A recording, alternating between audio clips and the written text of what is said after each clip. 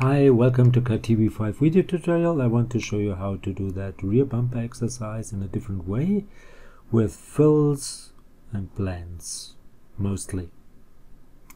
So let's take a look. Of course, as first I brought in, can't hide the other elements with the step file the curves and made my joint curves with it and then I added two lines and made a fill. This one. Then I made an extrude that one and made a blend in between this one. Next another extrude or no another sweep because I needed a draft angle. And then another blend this one. Next I needed again a fill and I made a fill from that fill to that last blend. I made another blend.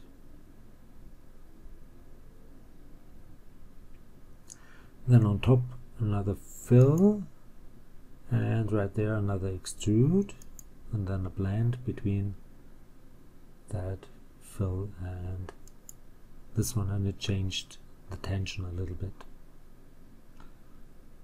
So let's start and have some fun with CATIA V5. Okay, I've inserted already some geometrical sets and first I need some lines, so go for a line from point to point, yes, from this one to that one. Okay, and another one from that point to this point okay now I can do a fill. So go for fill. Select the curve. Next one next one and the last one and it's closed. And confirm okay. Then I need an extrude with that curve. Direction would be let's take a look this direction. And it should be reversed in direction. Yes and confirm. Now I can do a blend between those two. So go for a blend. This curve that support. Second curve is this one and second support is that surface. Let's take a look if the tension is okay. Let's do 1 1 and make a preview. Yeah looks good and okay. Next I need an extrude with a draft so we'll go for a line swipe because sweep sorry line sweep because it's easier to do.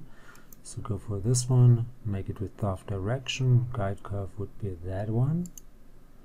And the angle should be 5 degrees and the draft direction is of course this one. And I want to go for that solution and okay now I can do another sweep.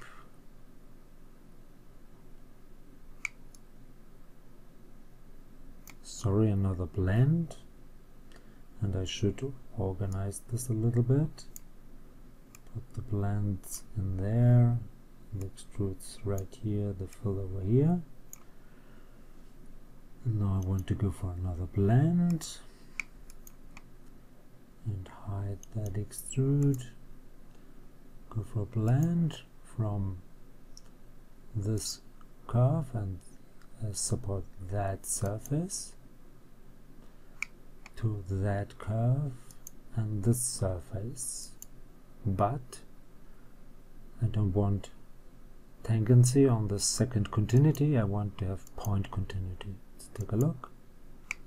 Looks pretty good. Okay I could hide that sweep. And I will need I will need another fill. Therefore I need a line. Like this confirm make a fill. Confirm. Now I can do another blend.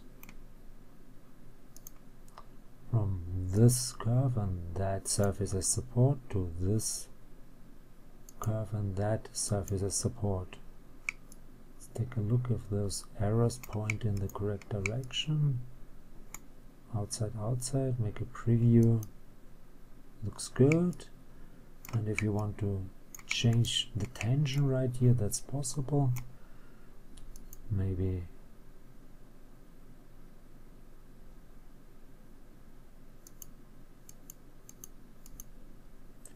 even there. Nice. Now I can hide that fill which should be located here and the line should be up there. So hide this one. I need another extrude with that curve here. So go for an extrude with this curve direction would be the same again. And it should be in that direction. Make a preview. Reverse direction that's the one. No that's not the one. It should go down okay. Hide that surface for a moment. And I will need another fill up here so go for a line click click okay make another fill.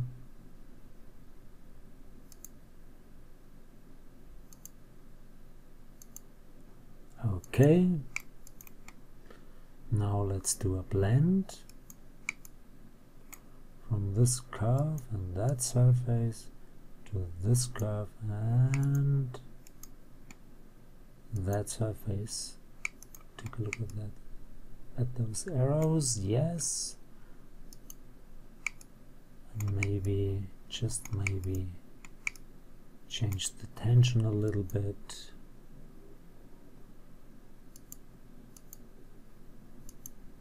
Okay. Now sort this fill fill that's okay. Sweep. That fill should be in the fills. The line is okay. The extrude should be here where I'm extrude here.